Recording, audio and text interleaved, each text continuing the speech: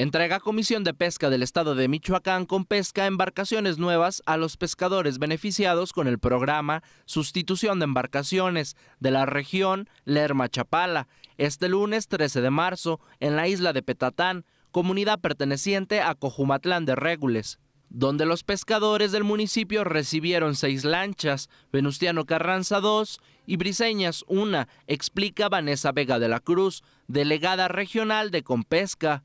Sí, mira, eh, este apoyo sale de un programa llamado Sustitución de Embarcaciones Menores, eh, el cual consiste en sustituir las embarcaciones de los pescadores que ya están más, muy viejitas, muy gastadas, que ya a veces no pueden trabajar bien con ellas, este, pero que son en las que ellos andan, por unas embarcaciones nuevas que les permitan pues mejorar sus condiciones de trabajo y a su vez pues mejorar su calidad de vida para, para sus familias mira, para, para el municipio de Cojumatlán fueron seis embarcaciones. Estamos entregando también dos embarcaciones del municipio de Venustiano Carranza y una de Briseñas. No, eh, eh, hay una aportación del 50% que va entre gobierno federal y estatal y otro 50% que va por parte de los pescadores. Mira, regularmente eh, son programas que se abren cada año. Sin embargo, hay sus excepciones. Este, los requisitos que deben de cumplir, bueno, es estar con sus, tener sus papeles en, regla, sus permisos de pesca, específicamente tener su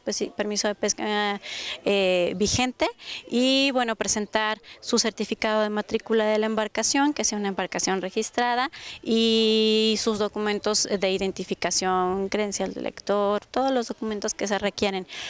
La delegada regional de Compesca menciona que estarán abiertas hasta el 24 de marzo las ventanillas para recibir solicitudes de apoyo para equipamiento, infraestructura y maquinaria agrícola, pecuaria y pesquera dentro del programa de concurrencia con la Zagarpa, en la cual se destinarán 113 millones de pesos. Pero adicionalmente, aprovecho eh, el medio, tenemos el programa de concurrencia con las entidades federativas. ¿sí? Este, este programa está abierto, ahorita las ventanillas se abrieron desde el 27 de febrero y van a estar hasta el 24 de marzo.